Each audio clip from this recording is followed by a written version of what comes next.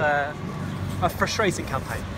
Yeah, I think so. I think it shows um, a good application from the players that um, the attitude going into the last game of the season uh, I, th- I, thought was very important today uh, that we needed to get that right um, and again good, good, response after going a goal behind but I thought we started the game okay um, and then they played what I call uh, Thursday morning possession football uh, we showed the attitude and the application to go on, go, go on and win the game. What was it then that um, impressed you most about Cobblers' performance today? I think the, the response the, uh, for the players having demands put on them. We worked on it in the week that, that, we knew how they were going to play and how they wanted to play.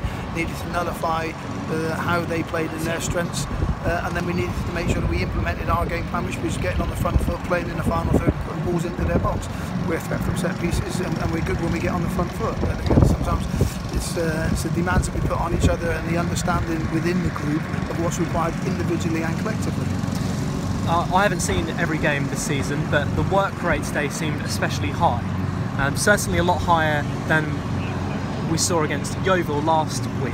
Um, you've also said in interviews that the side haven't been able to play out playing the style of football you'd like them to play, but today was quite encouraging from my perspective. I, I just wondered if you felt that you saw a side today that was giving signs of what you want to play at Northampton next season. Well, I think we, we want to play a high tempo game um, and we want to play in the opposition's half. The, uh, that's the fundamentals uh, of, of, what we want to do. Sometimes there's the decisions and options that players need, and it's about players identifying and picking the right options at the right time. Sometimes you have to learn by your mistakes. Today, uh, even even in the first half, you know, there was times we could have got in, in behind them in the first half, and that gets us on the front foot. Uh, when you're playing football, there's nothing better than being on the front foot.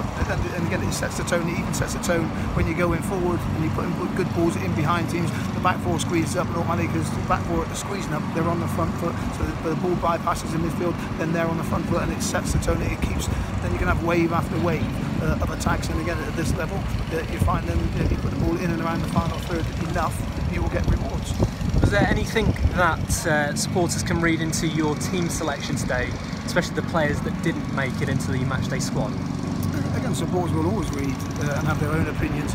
Uh, again, I think the important thing today, as it's been uh, after every game, the important thing is talking about the players that played today, the players that were involved today. And I think that's the important thing. There's going to be lots of speculation, there'll be lots of talk. I think a lot of that will be clearer after Monday when I have the meeting with, with the players. The focus now for the, for the players, uh, like I just uh, uh addressed them, they've got two more uh, responsibilities. They've got the end of season due tomorrow, where they've got to conduct themselves in the right manner, uh, and then they've got the meeting with myself uh, on the Monday. Mm. And there are plenty of uh, representation in terms of the academy today as well. Three players starting that were part, part of feature of the club's academy previously.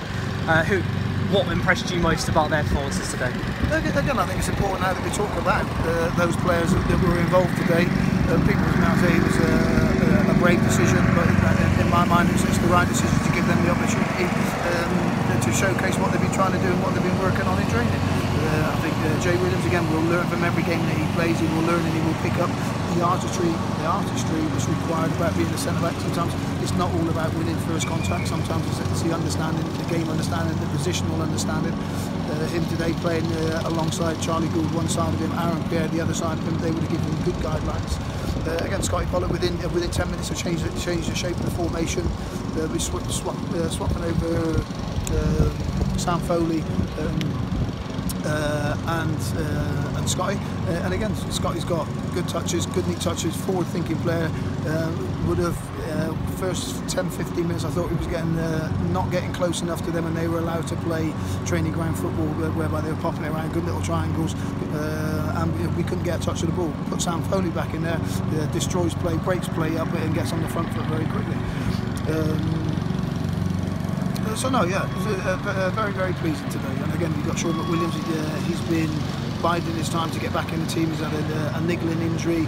Uh, he's had to adjust to new demands that are being put on him in and simplifying his game. I, I want Shaun to be um, being able to break play up, retain possession, or get us on the front foot very quickly, taking uh, limiting his decision making on the ball, and, and, that, and, that's not meant as a discredit. It's when you find good players that play higher, uh, higher up the pyramid. They play one and two touch football and they, play forward. That's what we're trying to encourage Shaun to do.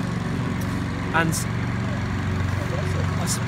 your set piece play was impressive as well. Had plenty of chances from corners, especially. You've scored more goals than any other side in, in League Two from corner positions, situations, I should say, this season. So is that part of the template as well? You want to carry on implementing next season that organisation from set pieces and the, being clinical from them as well. Yeah, if you're going to be a team that wants to operate in the final third now, if we're not, if we're not able to get clear strikes at goal um, or, or, crosses into the box, we, we, are going to earn a lot of throws uh, and a lot of set pieces for, from corners. So the important thing is then we need to be creative, we, we need to be brave, and we need to be clinical. And, uh, and again, yeah, I think we scored you know, uh, 40 odd percent of our goals have come from set pieces, but it's, it's something that we work at. We, we uh, you do, you do find a lot of teams um, and a lot of players get a little bit disinterested when uh, when you come Thursday, Friday, and you're doing set piece routines. But again, the more we do them now, it's becoming standard practice. And again, that's something that we need to grow on. The, the games can will be won, can be won uh, next season uh, by set pieces. I think this season, uh, as a group, we've uh, we've won won some games but we've uh, we've drawn a lot of games. Uh, if, we, know, if we could have turned those draws into wins, uh, that gets us then operating in the, in the top ten. And just final question from me. Uh, it's a bottom half finish this season. Frustrating, disappointing. You mentioned previously in interviews about there was that push for a playoff place at one point earlier in uh, the season where do you think the, this Cobblers side will? Where do you expect this Cobblers side to be 12 months from now? Again, I think the important thing is so where we where we finish is our starting point to, to aim for for next season. Yeah, so again, there's, and there's, all, there's going to be lots of different uh, incidentals uh, that are going to come into the into the factors uh, for next season. Uh, there is going to be new players, and it's how quickly can we gel those players together? Uh, how can we get them to buy into the philosophy and the ethos that we're trying to uh, trying to create? And again, you know, we need to go on runs within the season where we go seven, eight, ten games, uh, back-to-back wins. That, that can propel you. And again, the timing of those is important. And again, we'll, we'll have a full pre-season.